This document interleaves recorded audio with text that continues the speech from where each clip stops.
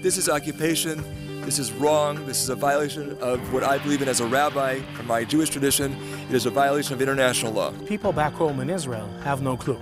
Our own society is sending us here to do the job without understanding what doing the job means. Most of the Israelis don't care about it, have no moral doubts about it, have no question marks, and don't deal with it at all. So we decided to bring Hebron to Tel Aviv. That was our slogan. Yeah, we wanted people back home to know what's going on.